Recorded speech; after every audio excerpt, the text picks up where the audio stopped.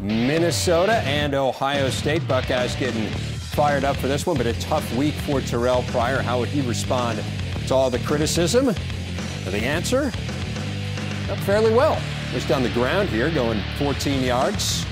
They're on a third and 10, so first down for the Buckeyes. Same drive. It is Pryor. Looking for Dane Sanzenbacher here.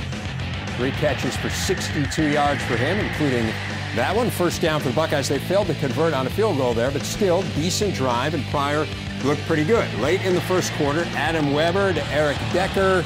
About as costly a 16 yard gain as you will possibly see because you see Decker comes up limping at the end. He would come back for one play, but after that would leave the game, would come back to the sidelines in a boot and on crutches. That is really bad news for Minnesota. Now Pryor DeVier Posey. Wide open, 62 yard touchdown. Buckeyes on top, 7 to nothing.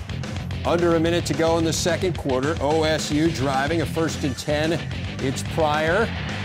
Looking for Sanzenbacher nicely done by Kyle Theret. And the Gophers keep it to 7 0 at the half on the interception.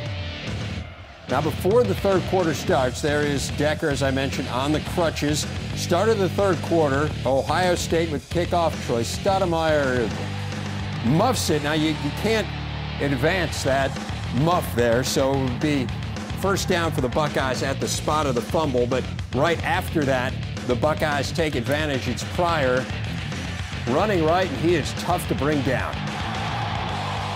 Touchdown Buckeyes. Pryor, Pryor ran for 104 yards. It's 14 to nothing. Ohio State. Now third quarter. Weber is stripped, and the Buckeyes recover. John Simon coming up with the play there.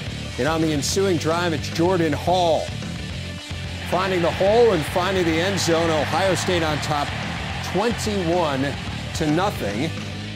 Buckeyes ran for 269 yards in this game, gained over 500 in all.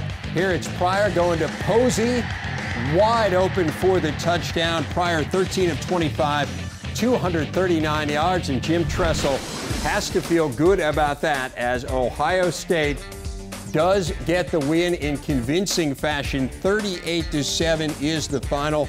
Their 42nd win in 49 all-time meetings with the Gophers. They're 22 and 3 in Columbus, seven in a row, 35 of the last 37 against Minnesota for Ohio State.